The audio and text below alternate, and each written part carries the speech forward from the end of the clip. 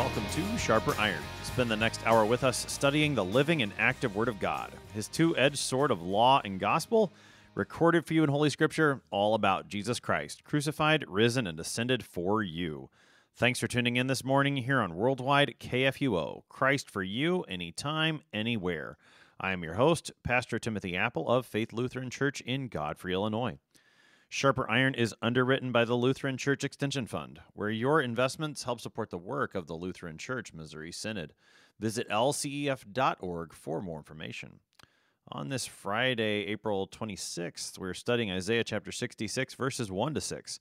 In today's text, the Lord proclaims that He is the God who created and rules over heaven and earth, so that those who would come near to Him should not do so in ways of their own choosing but rather should come in humility and in contrition, trembling at his word. To help us sharpen our faith in Christ as we study God's word today, we have with us Pastor Doug Minton. Pastor Minton serves at Our Savior Lutheran Church in Milford, Illinois. Pastor Minton, welcome back. Welcome to Sharp Iron. First time I've had Thank you. you. Glad to have I'm you glad today, to be Pastor here this morning. Yeah, fantastic. I understand you've been on a guest on KFUO before, but glad to have you on Sharper Iron with us this morning to take a look at Isaiah 66, these first six verses. As I was considering the text for today, uh, Isaiah right here is one of those places where, had he said Amen at the end of chapter 65, I think the book would have wrapped up just just nicely after he has that vision of the new heaven and new earth. But much like St. John continues after he's told you the purpose of his book, he gives you a few more accounts. So Isaiah has a few more things to say. Uh, so, with those things in mind, Pastor Men, talk to us about Isaiah, his context, what we need to know about the text we're going to look at today. All right. Isaiah is working through this time, which is about a century or so before Israel, the northern kingdom, is taken away, and about a century and a half or so before the southern kingdom, if I've got my dates right. I think he he prophesies the northern kingdom falls during his ministry, but it is about a, about a century and a Oh. half prior to the, the fall of the southern kingdom and the exile to Babylon. Yep. Okay. So, yeah, it's keep, keeping all the dates straight sometimes, especially this early in the morning, kind of gets things. But he's prophesying about all of these things. And not only does he prophesy about the uh, exile into Babylon, but he talks about the things that come afterwards, uh, which is one of the reasons why many of the church fathers have called Isaiah the fifth evangelist is that he not only talks about the law and you know you need to straighten up but here is god providing for you which is why in the uh, in the season of advent in preparation for christmas we have all of these isaiah texts that we read Yeah. We think of all of these uh, passages throughout like handel's messiah that is a lot of isaiah in there so isaiah is a really important thing and Yes. If he would have just said amen at the end of 65, it would have been fine. But I, I also think it wraps up really nicely at the end of 66 as well. So it's, again, like John's gospel. It's like, all right, you know, here's one ending, here's Right. another ending. Yeah. Which one do you want to pick? Uh, they're both fine. Yeah. Well, we, t- we talked a little bit about in the, the episode uh, on the end of chapter 65 with the new heavens and the new earth, how that description of the new heavens and the new earth does point us toward the end of all things. And you can see the scriptures elsewhere picking up that same language from Isaiah 65 to talk about the return of Christ and, and eternal life and the resurrection. But at the same time, that language also gets used in some places in scripture to talk about our life within the church. That as believers in Christ, we already dwell in the new heavens and the new earth by faith, so that what's described there does apply to us even now. And so perhaps, uh, you know, of course, why did Isaiah keep writing? Well, the Lord had him keep writing.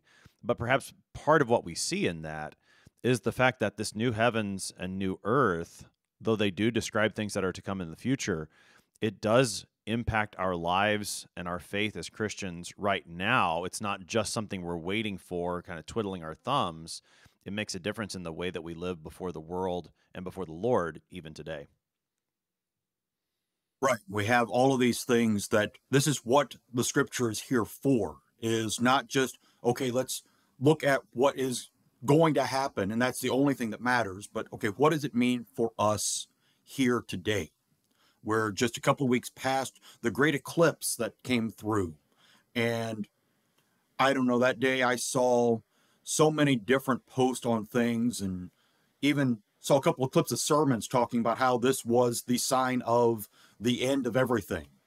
Hmm. And I, well, we're still here. So That's right. it maybe not quite the end of all things yet. That's right. That's right. And so the Lord has more words for us as we continue to live in that hope, waiting for the new heavens and the new earth, rejoicing even now as we are a part of his church. And so we have that eternal life in Christ already now. So, as we begin here in chapter 66, the Lord is going to describe where he dwells, what it means to approach him correctly. We're going to consider some some of the worship life of Israel and what that has to say about the way we would come before the Lord today and the way that we receive his word. Any kind of introductory thoughts on on this text from chapter 66 before we read it, Pastor Minton?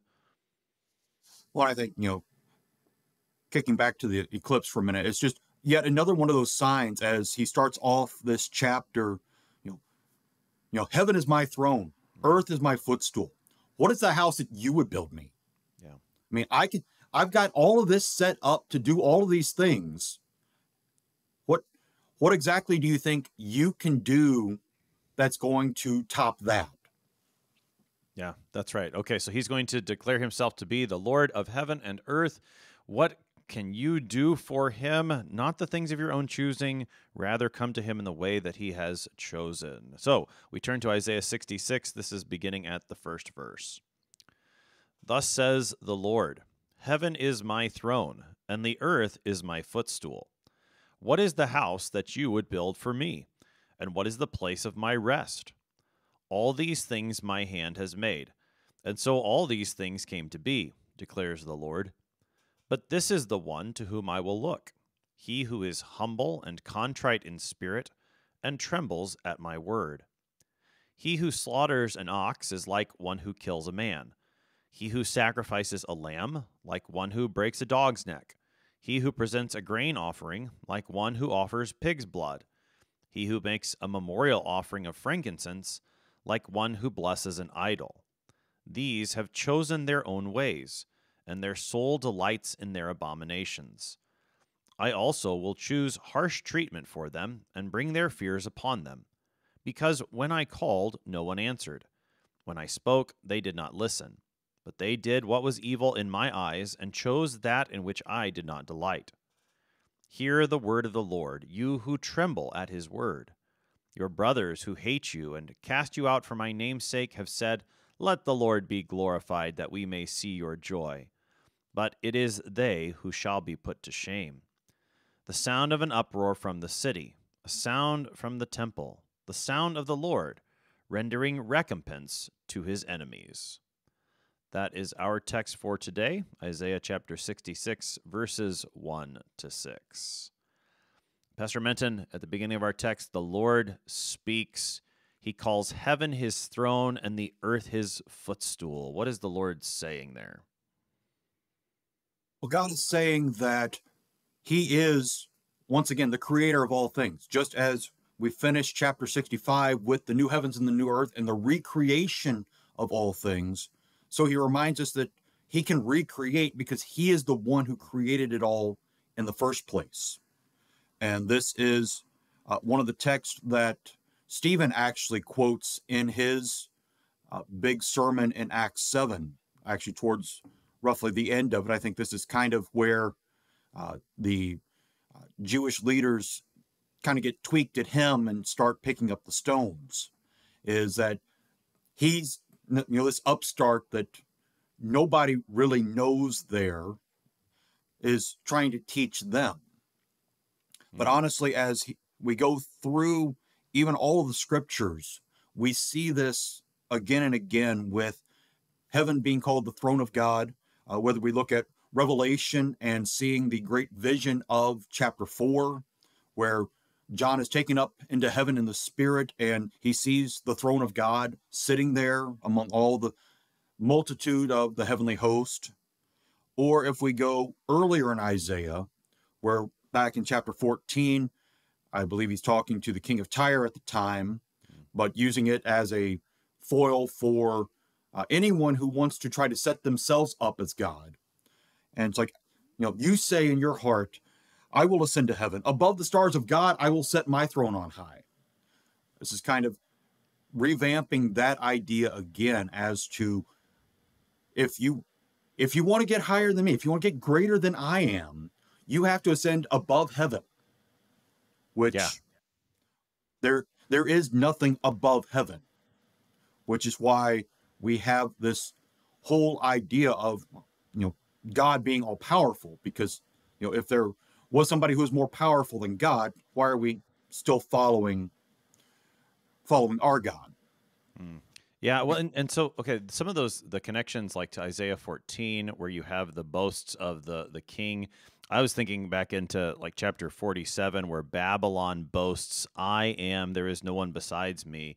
Uh, those who would those who would claim these things are worshiping idols and there's a there's definitely a condemnation of idolatry in the background of verse 1 which to to connect that to to the way Stephen brings it up in Acts chapter 7 that's probably why when he brings it up as you said is at the end of his long sermon there they start to get so mad at him at that point because he's basically accusing them of idolatry within the temple of the Lord.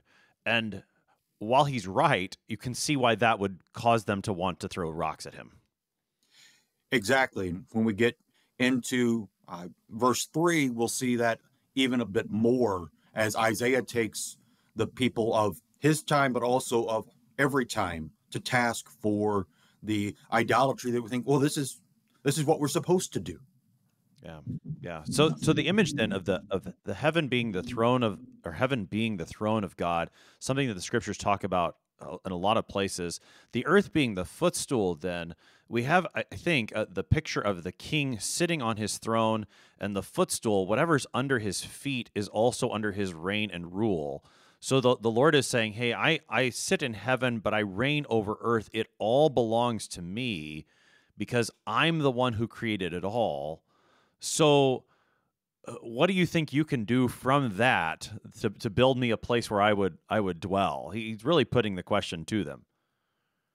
Right. We have we have not only the image of reign, but also just the physical imagery of the footstool being the place where the feet rest, so that everything is under his feet. So Psalm 99 says, Exalt the Lord our God, worship at his footstool. Or uh, Jesus even says in the Sermon on the Mount, uh, You have heard it was said to those of old, You shall not swear falsely, but perform to the Lord what you have sworn. But I say to you, do not take an oath at all, either by heaven, for it is the throne of God, or by the earth, for it is his footstool, or by Jerusalem, for it is the city of the great king. And do not take an oath by your head, for you cannot make one hair white or black. Let what you say be simply yes or no. Anything more than this comes from evil. Hmm. Go ahead, mm-hmm. keep going. We have the, we have this idea of okay, you know, this independent spirit that we have, partially from being Americans and having that whole still revolutionary idea of wanting to throw off huge establishment, but also just from our sinful nature.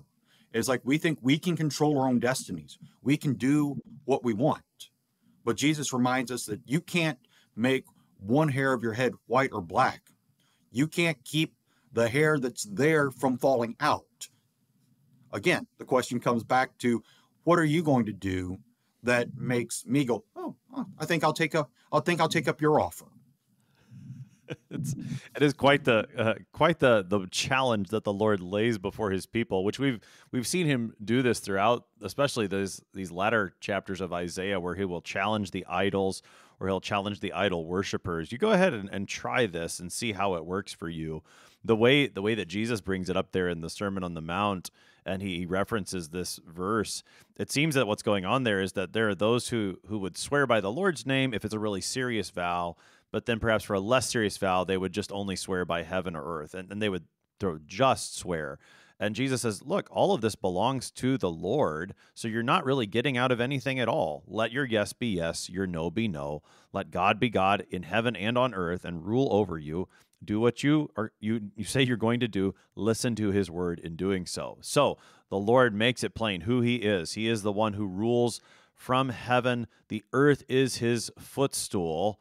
And so then he asks the question, What is the house that you would build for me? And what is the place of my rest? Two questions, I suppose, put in parallel. Help us into the, the first one the house that you would build for me. Well, as Isaiah is proclaiming his word in and around Jerusalem, there is the temple right there, the temple that Solomon had built. But if we go back to 2 Samuel 7, we see that the idea of building a temple didn't come from God. In fact, when David has this great idea of, well, wait, I dwell in a house of cedar, but the ark of God dwells in a tent. You know, this is kind of backwards. So I need to build him something great. And God comes back to Nathan in the dream that night and says, When have I ever asked for a house? What what I when I came to Moses and said, This is the dwelling that I'm going to have among the people, I picked a tent. You know, there's, I'm not, you know, I'm not wanting to uh, make myself established in just one place as all of it is mine. And I can move around as I wish, as the tabernacle did up until the time of Solomon building the temple. Mm. But what's, what's Oh, keep going. Sorry, sorry. But the the, the idea of a house for God on the earth was not his i was not God's idea. Know, God wanted to be as uh, Jesus talks to the Samaritan woman, worship in spirit and truth wherever it is we are. So here's I would I would try to clarify that a little bit, Pastor Minton, because I do think that the the second Samuel seven text is very instructive because David comes to the Lord with the idea for the temple. And and Nathan even agrees with him at first. Hey, sounds great, David. Do what your heart has in front of you. But the Lord has to come and correct both of them and say, and I think this fits very well with the Isaiah text. Why do you think that you get to choose how I'm going to dwell among you? You you go ahead, you dwell in your palace, David. That's great. I've done all these great things for you. He tells him in 2 Samuel 7. But it's not your role to build me a house. I'm the one who builds the houses around here is pretty much what he, he tells David. And and so the Lord it, it is David's idea at that point. The Lord comes and tells David, You let me tell you when to build the temple. And David, it's not going to be your job. It is going to be your son's job Solomon. He's going to build the name for my house. And of course, that points forward not only to what Solomon does in constructing an actual building, but it points forward even more in what our Lord Jesus does in taking on flesh, that temple that is destroyed, that he rebuilds in three days in his resurrection. So I do think, I mean, uh, looking through the Old Testament, the, the tabernacle, the temple, these are God's ideas. Uh, but they're God's ideas that He controls, that He commands, that are not to be taken into human hands and made into the things that we want them to be, that's where we run afoul of the, the gift that he's given. Oh, that's a very good point as well. And then when we get to, you know, what is the place of my rest? It's like, well, yeah. Where where are we going to find a place for God to rest? I mean, we we have a hard time finding a place for us to rest. Much less trying to figure out, okay, how do we get how do we get him to rest and to take a break from everything? Which is exactly what we don't want. Because when he takes a break from everything, everything begins to fall apart.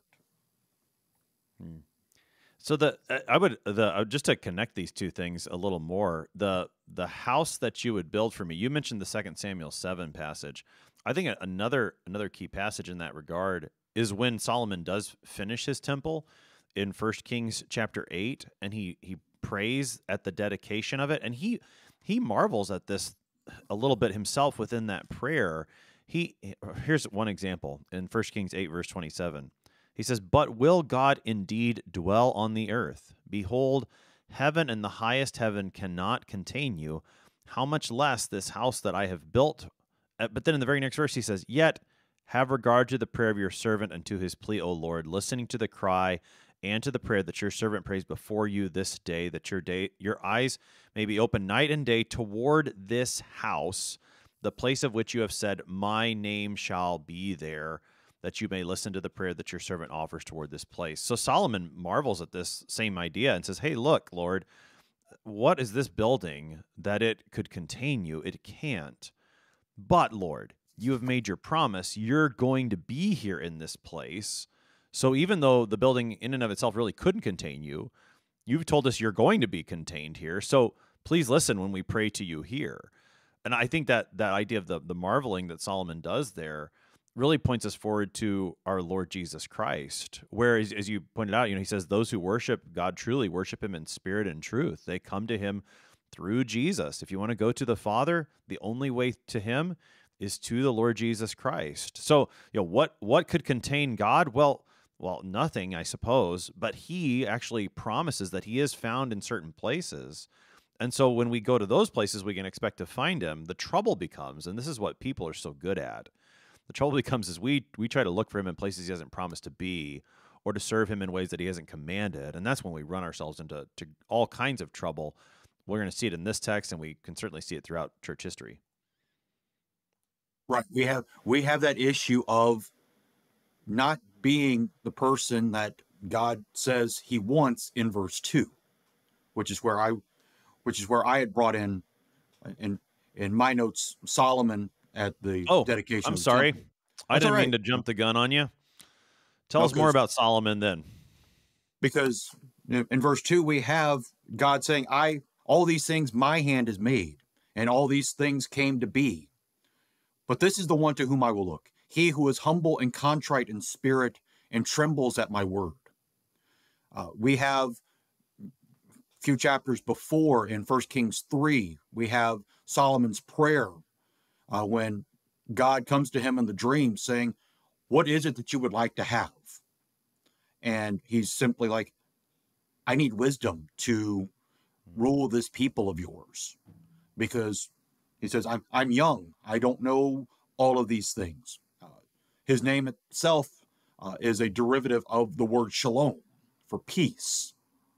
So he he is one who is humble and contrite you know he he trembles in that prayer at you know you, you know, the heavens cannot contain you but yet you uh, are allowing yourself to be in this building.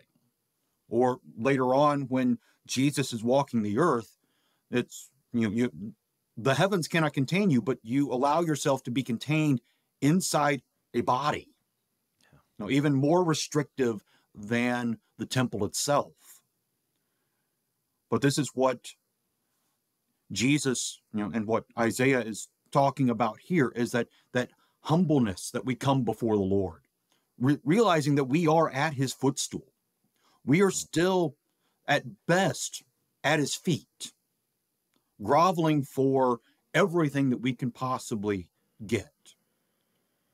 And so that's what he is looking for that person who is humble, who is willing to be contrite. As David says at the end of Psalm 51 the sacrifices of God are a broken spirit. A broken and contrite heart, O God, you will not despise. This is this is the one upon whom God, as the uh, as Augustine in one of whatever uh, version of the Septuagint he's using in one of his sermons, talks about translating this verse as "On whom does my spirit rest?" and turns turns this whole uh, the last part of verse two into a question. Uh, in that but it's the one who is contrite, the one who realizes his own place in the world and in the grand scheme of all of creation. Because we ourselves can do nothing. We are the ones who have to rely on him, which is why he focuses on us when we hype ourselves up and puff ourselves up, thinking that we're something. It's like, wait, you know, I'm the one who created all these things. You know, he said it in verse one, he says it again here in verse two. It's like, again, who are you? Hopefully, you are one who is contrite and humble, realizing where you stand in the pecking order of creation. Hmm. Yeah, yeah. I think that I think it's helpful to to see the the again the reference to creation in this verse again, and and where we stand in that creation. We are the those whom God has created. always receiving from him never presuming upon him always coming before him as our creator. And that's that's humility that's contrition because we're sinners that's the trembling at his word. And i wonder if the just to, to go back very briefly to the place of rest that the lord asks about in the the first verse i wonder if that's maybe how the the place of rest fits in thinking about creation the Lord creates everything in six days, and then on the seventh day he rests, which you know it doesn't mean that he took a nap or something like that, but he, he's done created. He he finishes, and and still the world doesn't fall apart. You know, I mean the the Lord the Lord even in his rest, I suppose, is at work sustaining. And so you know, what's the place of my rest? Are, are you really? Do you think you need to build me a place to take a nap? I I rested. I didn't do anything on the on the seventh day. I did not create. I rested and and I still remain your creator. So who do you think you are to to come before me with all these works of your hands?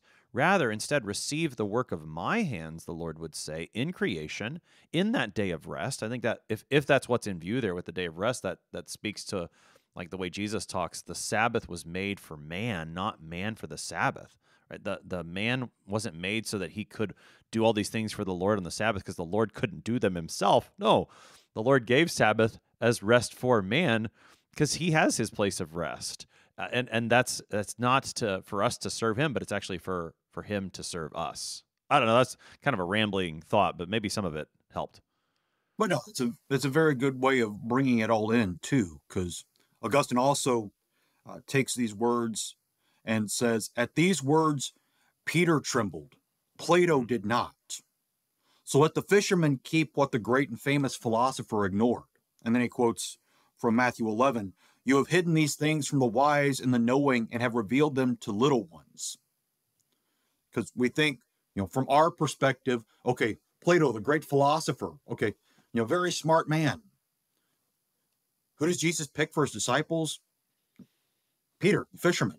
Yeah. But, you know, despite Peter having foot and mouth syndrome quite often, he he is still one who is humble and contrite. You know, he he trembles at the word when it's there. Yeah.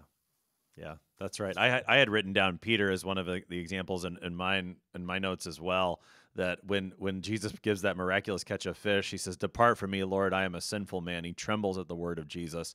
Yet Jesus bids him rise and says that Peter will be a fisher of men. That's a good place to take our break as we think about trembling at the word of God.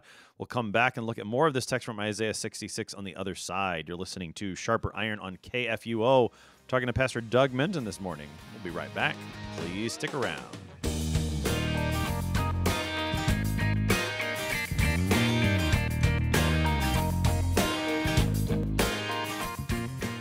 Lutheran Church Extension Fund exists to support Lutheran Church Missouri Synod ministries and church workers. How do we do this? Your investment with LCEF makes it possible for LCMS churches, schools, organizations, and church workers to receive low cost loans for new and growing ministries. And faithful Lutherans like you, church members and church workers alike, make that possible when you invest with LCEF.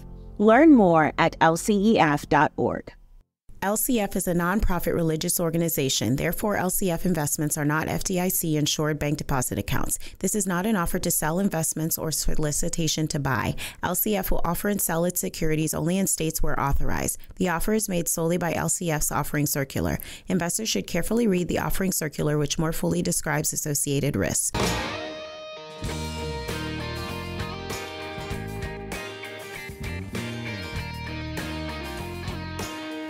Welcome back to Sharper Iron. It is Friday, April 26th. We're studying Isaiah chapter 66, verses 1 to 6, with Pastor Doug Minton. He serves at Our Savior Lutheran Church in Milford, Illinois. Pastor Minton, prior to the break, we were talking about verse 2. The one upon the the one upon whom the Lord looks is the one who's humble, who's contrite in spirit, and who trembles at the Lord's word. You had mentioned St. Peter as a great example of that. I had also thought of the prophet Isaiah himself, in his call scene in Isaiah 6, he sees the the seraphim flying around in the, the heavenly throne room. He hears them singing the Sanctus, that the Lord is holy, holy, holy, and the whole earth is full of his glory. And Isaiah, upon hearing this word of the Lord, he trembles and says, Woe is me. Thought he was another good example of someone who trembles at the Lord's word. Yeah, Isaiah himself is one of those because he he goes on several times throughout the prophecy to kind of lean back to chapter six, but one of them uh, was Isaiah 57, uh, verse 15, where thus says the one who is high and lifted up, who inhabits eternity, whose name is holy. I dwell in the high and holy place, and also with him who is of a contrite and lowly spirit, to revive the spirit of the lowly and to revive the heart of the contrite. And we we typically want to take trembling as that you know, real fear, like horror movie style trembling. But this is, you know, that woe is me kind of trembling. That, you know, if it were not for the fact that uh, God has not smitten me from what I have seen and what he has told me, I wouldn't be here. You know, he, he is the one who is there to revive the spirit of the lowly and the heart of the contrite, to bring about the one who truly seeks to worship him as he desires to be worshiped. Yeah, yeah. Just real briefly uh, before we move on, as reflecting on these verses, the first two verses for our lives as Christians today, especially with that connection to Isaiah 6, uh, we sing those words as a part of our communion liturgy, as a part of the Sanctus. So, holy, holy, holy is the Lord God of hosts. Heaven and earth are full of his glory. And then we connect that to the song of the crowds from Palm Sunday Blessed is he who comes in the name of the Lord. Here, this one who fills heaven and earth with his glory now comes in great humility. And so what a what a wonderful thing to consider as we approach the altar every time we receive the Lord's Supper that we would do so in humility and contrition trembling at the Lord's word knowing that this one who has all authority in heaven and on earth and fills fills all creation and made all things now chooses some of the most humblest elements of his creation bread and wine in order to deliver himself to us. I think these these verses help us to to wonder and to meditate upon what happens in the Lord's Supper. Exactly, because we have this. This is where we, in our daily lives, come trembling, uh, which is why in many of our churches we have communion rails to kneel uh, as a sign of reverence, but also just for the fact that you know, as we just sung in the Sanctus, you know, holy, holy, holy, you know, blessed is he who comes in the name of the Lord. And now this Lord is coming to us in that bread and wine. Sometimes I wonder if, you know, God inspired the people who came up with the communion rail idea to begin with. It's like, you know, you you need a place for the people to hang on to. That, you know, in, in that trembling, because here we are in in the app, not only the presence of God as we are throughout the worship service, but here is God coming to us. And we talked about confining himself to the temple and confining himself to the body, but then yes, you brought it up, you know, confining him now to bread and wine. You know, it's it's mind blowing. We can't we can't fathom it. Yeah, that's right. That's right. And and we can't fathom it. And I think that's part of the point with with Isaiah here is that yeah, we, we wouldn't have come up with this if, if we were going to design a way to worship the Lord. Uh, probably eating bread and drinking wine is not the way we would have come up with. We would have thought of something much fancier or more more spiritual looking. But the Lord says, This is truly spiritual. This is true religion because I'm giving it to you. It's my choice for you. Receive it as a gift. Don't choose something for yourself and then offer it to me as if you're doing something for me. And I think that that thought that's certainly there in the first two verses becomes more plain as we see it played out in verses 3 and 4 especially where we see this this self-chosen worship side by side with the the worship that the Lord had said and it seems that the people are are trying to do them together or consider them equal in some way or or their heart isn't in their their acts of worship that the Lord has given. So we've got these the sacrificial language on the one hand that seems good combined with things that we know are definitely bad. Take us into some of these comparisons, these different ways of of worship that are going on in verse 3. Well, this is where, and looking through some of my commentaries, I found a great divide in the way people took this. Uh, many, it's you know the idea of our own self-made ideas for worship, and how you know we we think you know we we would make things you know more grandiose than what God has given to us, and others said, well, this is showing that you know God is condemning just uh, you know, dry ritual, you know, and dead ritual, which of course, a couple of these commentators are also the ones who would say the liturgy is dead ritual. So we need to figure out our own way of doing worship because he's like, okay, you know, an ox, the great, you know, the greatest of the animals that were offered as sacrifice in the Levitical system. You know, I, you know, God is here comparing to human sacrifice, which is an abomination.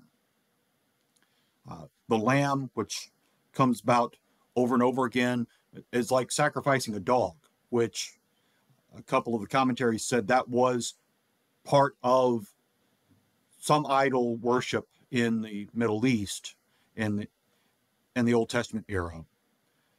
And it's like, okay, we th- we think of dogs and you know the ones that come sit in our lap, whether they're 10 pounds or 100 pounds, right. and you know just just want to be petted and loved on. Or no, these are these are the scavenger dogs that are you know running through the trash heap uh, that are being talked about here, or the grain offering uh, being like pig's blood, which pigs being an unclean animal as well.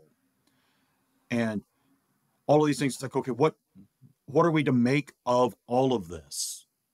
And it's simply the idea of, you know, doing it with the wrong intentions, doing it with the wrong heart, not one that is contrite and broken and humble, but one that is here, God, this is here, here is my gift to you. You know, you, know, be happy about it. Uh, uh, whereas we uh, bring in the third commandment here as to really all of it comes down to our natural desire to despise the word. You know, we we think the word is just too simple. Although, you know, we're we're sitting here 30 minutes into a discussion of three verses of Isaiah and calling it simple. But it's you know the the despising of the word that Luther says that we should not do based on the third commandment is here because we want things to be greater. Uh, we want things to be more of a show, which is one of the issues that like the big mega churches have that they they have this idea that we have to do something greater this week than we did last week. And it's always got to be building up to bigger and bigger things. Whereas confessional lutherans come and say okay all of that is fine. You want to have your smoke uh, machines you want to have your laser lights fine whatever we here have what god has told us to do we're not going much further than that but you know we have you know we have what where he has promised to fi- to be found. Whereas, you know, and all of that other stuff and all of the show, Jesus might be there, but a lot of times he just gets an honorable mention. A lot of times.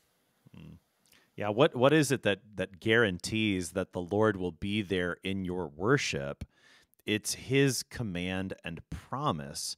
It's not the emotions that you build up. It's not the show that you put on. It's not the outward trappings of things.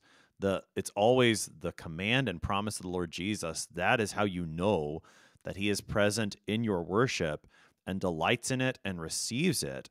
And and to what's going on here in Isaiah 66 verse 3, the, as you were describing it, it reminds me a little bit of of the way that the prophet speaks in Isaiah chapter 29, which Jesus brings up against the Pharisees, where the, the Lord says the because this people drew near with their mouth and honor me with their lips, while their hearts are far from me, and their fear of me is a commandment taught by men. And he goes on to, to say what he's going to do. But that's sounds like the attitude that's going on here that the one who slaughters the ox or sacrifices the lamb or presents a grain offering or makes a memorial offering of frankincense, which are things that the Lord gave his people to do in the law, they do it with a heart that's far from the Lord And so the Lord does not receive those actions because that worship is not done in faith.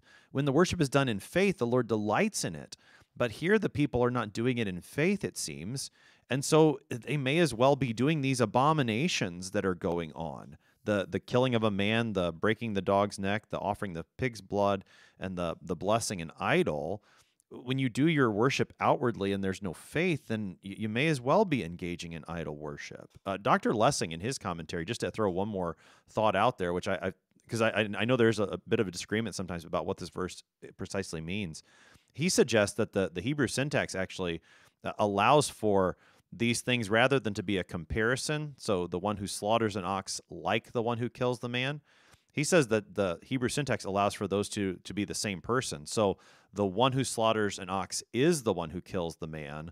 The one who sacrifices the lamb is the one who breaks the dog's neck. So that it wouldn't be the the hypocritical worship that's being condemned, but what would we we would call it the syncretistic worship. So on the one hand, they're going to the Lord's temple, and then they're going over the temple of Dagon and Baal and whatever god you you got down the street. They're doing both. Whichever one's going on, this is clearly not something that the people of God want to be engaged in. Right. We have that again you know there are there are a few different ways of taking these verses but we have it throughout all of uh, jewish history in the old testament is that you've got the people on the sabbath worshiping yahweh but then you know the other days of the week you know they're wherever you know they're worshiping in another temple of another god or they're up on the high places with baal and asherah and all of that and they're like you know it's no big deal it's yep. like, you know, we can do both of these things. But then Paul takes the Corinthians to task about the very same thing.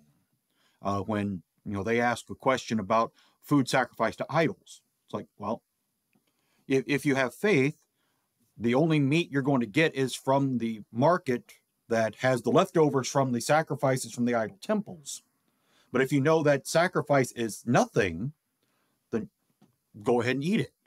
But if you stumble because okay, this was offered to Apollo or you know whatever other Greek or Roman god, like you know, then don't.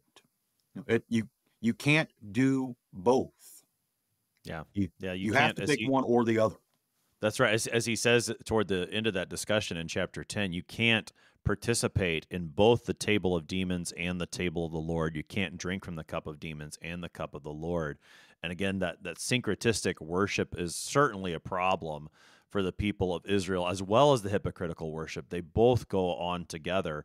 Maybe the, the way to summarize this is the way that Isaiah does at the end of verse 3 these have chosen their own ways. And so, I mean, you know, we look at the things that are going on here and we can see that they're pretty obviously wrong.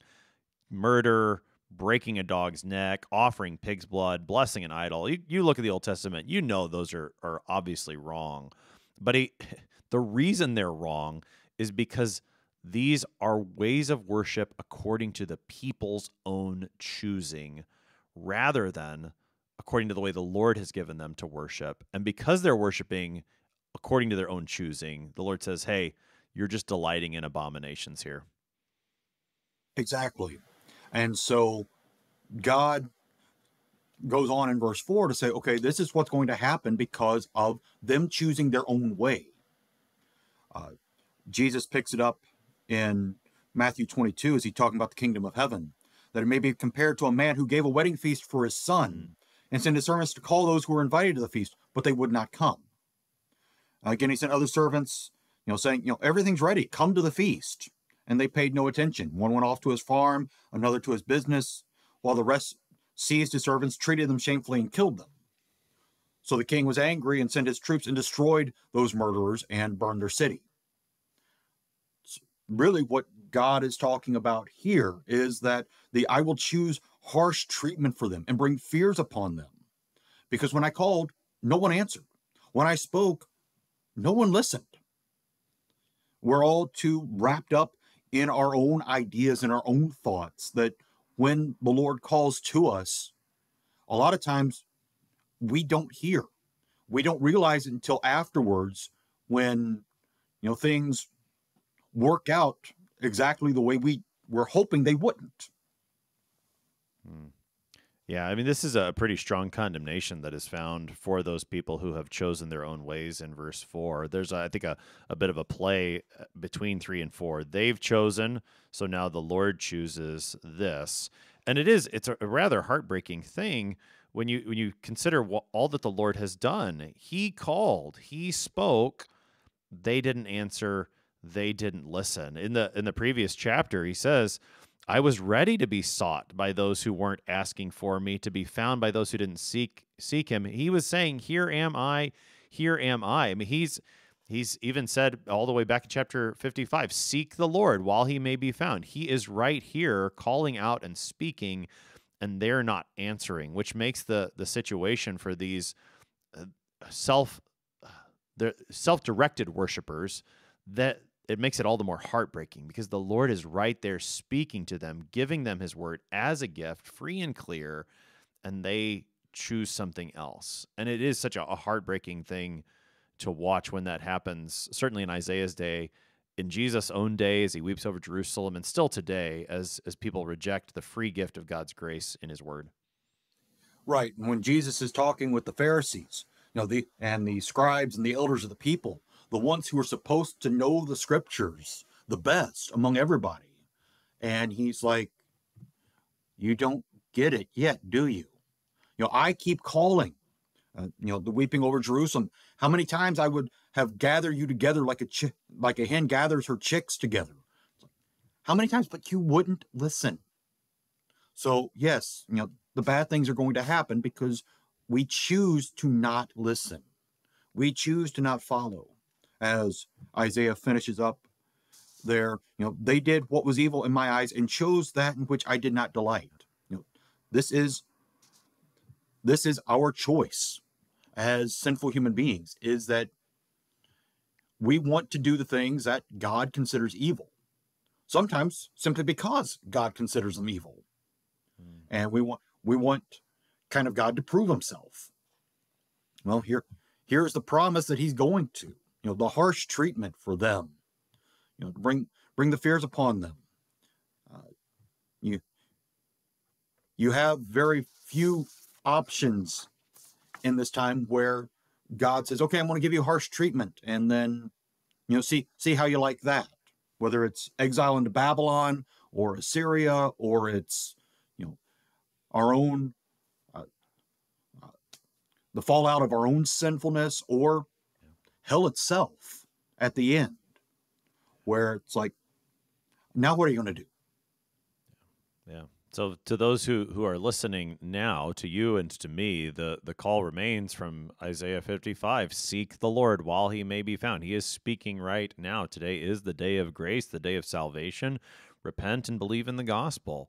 And, and so, as, as the prophet concludes this section in verses 5 and 6, he speaks the word of the Lord now to those who tremble at his word. So verses 3 and 4 speak about those who are engaging in self chosen worship. Now, verse 5 returns, and the Lord speaks not about, but he speaks to those who we were mentioning in verse 2 the humble, the contrite, and especially the trembling at his word. And it sounds like he's, he's talking about, hey, these idolaters, they may persecute you, but have no fear the Lord will bring about his justice in his time. Help us into some of the, the details there in verses 5 and 6, the Lord's word to those who tremble at his word. Well, one of the first thing that popped into my mind when I saw it, you know, getting into verse 5 is your brothers who hate you. It's like my first thought was Joseph. But then I kept reading the verse, and it's like, you know, and cast you out for my name's sake. It's not exactly the reason why the older brothers got rid of Joseph but it does it does go more to the end of the beatitudes blessed are those blessed are those who are persecuted for righteousness sake for theirs is the kingdom of heaven blessed are you when others revile you and persecute you and utter all kinds of evil against you falsely on my account. Rejoice and be glad for your reward is great in heaven. For so they persecuted the prophets who were before you. You know pe- people want to say in especially in their self-directed ideas as you know i'm doing this for the lord. I mean saul himself when he's recounting his conversion experiences in the later chapters of acts talking about i thought i was doing the lord a good thing You know, I thought I was doing a good thing persecuting these Christians. I was trying to let the Lord be glorified. But yeah, I got the harsh treatment. You know, granted, you know, you know, thankfully for Paul, it was three days of blindness and then, you know, a kind of a rough life as a missionary for the church, but you know, it still could have been a lot worse had he kept going with the way he wanted. But he he wanted to see and follow God more than anything else. I mean, Paul is one of those who is contrite. He is one who trembles at God's word, seeking simply to do what is expected of him. But even then, he goes back, he can go back to Jesus saying, you know, and when you have done all things, you know, say, we are unworthy servants. We've only done that which was commanded. And so we hear this great word that, you know, they want to put you to shame because you don't do things the way they want, but it's they who are going to be put to shame in the end. Yeah. And this is when we get to verse six and the the end of it, the sound of the Lord rendering recompense to his enemies. Hmm. As uh, he says in Deuteronomy 32, vengeance is mine and recompense for the time when their foot shall slip. For the day of their calamity is at hand and their doom comes swiftly. Or Jesus' last words in the New Testament in Revelation 22 Behold, I am coming soon, bringing my recompense with me. Yeah. You know, we yeah. have, we, we think, okay, you know, you know, they have they have the bigger crowds and all of this and you know all all of these great things that we think okay this, that's got to be working for them. But then they find out, yeah, there's actually nothing there. I mean, mm-hmm. the smoke machines are not the only thing blowing smoke. I, appreciate the the reference to the Beatitudes. I think is really helpful, and you, how you see this play out in the lives of the faithful throughout the the centuries. Uh, listening to the the mockery that comes from those who are are doing the casting out. Let the Lord be glorified, that we may see your joy reminds me a lot of the mockery that Jesus received on the cross. You know, come down, let the Lord save him if the Lord loves him. Eh, that sort of mockery. Well, at the at the death of Jesus, we see already the vindication of Jesus. And I think, you know, thinking just in verse 6, the sound that comes from the temple. So you have the temple curtain tearing, which certainly made a, a an enormous sound that already in that miraculous event at the death of Jesus, you see uh, that the Lord is vindicating his son already, which is uh, fulfilled and completed then on the third day in the resurrection, giving us all hope who are in Christ that right now, even as the world persecutes us and there may be trouble, the Lord will. He, he does justify us now and he will vindicate us on the last day and he will take us into the resurrection and and that will make it all worth it if i can say it that way that that this is the the true faith the lord will prove himself and his word to be true. Got about a minute left here pastor minton. Help us to, to wrap things up on this section of isaiah 66 this morning. Basically isaiah is saying you know the lord through him listen to me. I'm the one who knows what i'm talking about. You have a limited perspective of things. Going back to verse 1 Heaven is my throne, the earth is my footstool, and you inhabit just a little section of that footstool. Remember your place, and that is the one who is contrite, the one who is humble, trembling at the word of the Lord, because truly the word of the Lord is the one that made us, the one that sustains us, the one who has saved us, and the one who is going to in the end raise us. And that Master, is the great uproar from the city, the sound of the temple, the Lord rendering recompense to his enemies. Pastor Doug Minton serves at Our Savior Lutheran Church in Milford, Illinois. He has been helping us today to study Isaiah chapter 66, verses 1 to 6. Pastor Minton, thanks for being our guest today. Thank you for having me. I am your host here on Sharper Iron, Pastor Timothy Appel of Faith Lutheran Church in Godfrey, Illinois. If you have any questions about Isaiah 66, send an email to kfuo at kfuo.org. It is always a joy to hear from you. Beginning of next week, we will push farther into Isaiah 66 and hear more of the Lord's word to his people. Thanks for spending the morning with us today. Talk to you again next week.